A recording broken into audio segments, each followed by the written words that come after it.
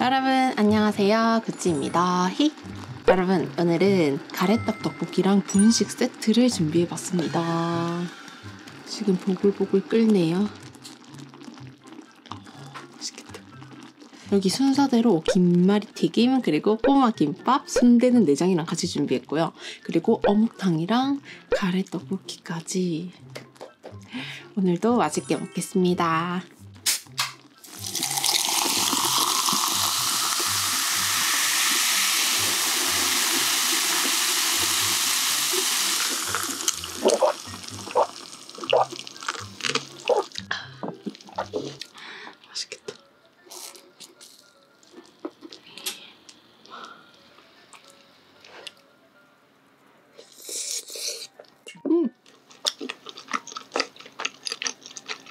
음.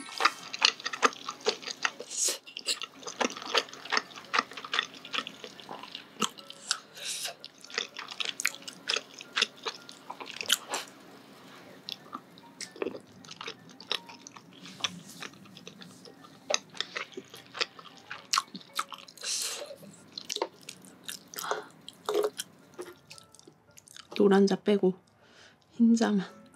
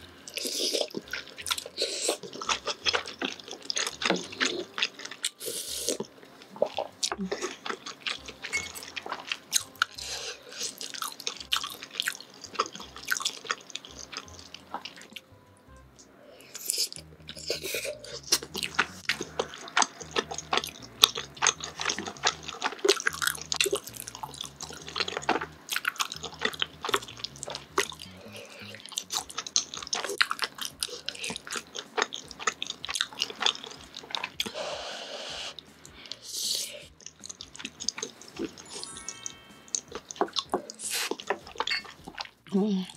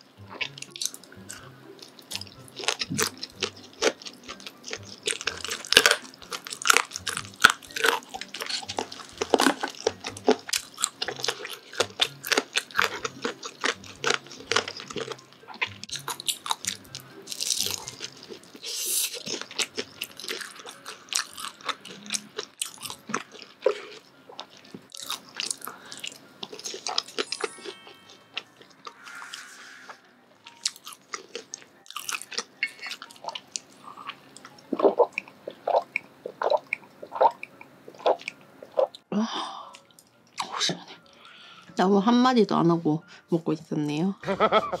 맛있어가지고. 오랜만에 가래떡 떡볶이 진짜 오랜만에 먹는 거라 가지고. 떡이 엄청 쫀득쫀득.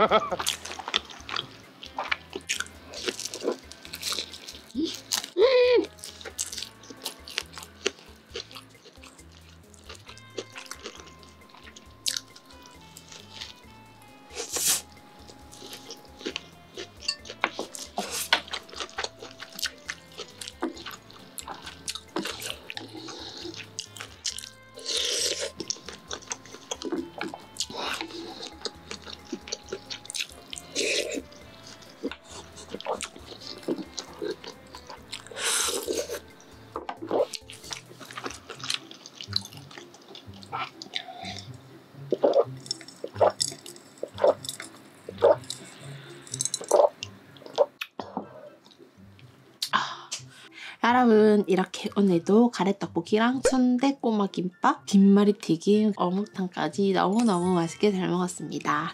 오랜만에 가래떡 떡볶이 먹으니까 너무 쫀득쫀득하고 맛있었어요. 역시 밀떡이랑은 또 다른 매력이 있습니다. 저는 예전에는 쌀떡만 거의 주문해서 먹었거든요. 쌀떡 엄청 좋아했었어요. 그런데 요즘에는 밀떡을 좀 더 좋아하는 편입니다. 이게 이렇게 좀 식성이 조금씩 바뀌더라고요. 오늘은 쌀떡이 너무 먹고 싶어서 가래떡 떡볶이로 먹어봤고요. 순대는 저는 허파를 제일 좋아해가지고 허파가 제일 맛있었어요. 그럼 오늘도 재밌게 봐주셔서 감사합니다. 다음 영상에서 만나요. 안녕.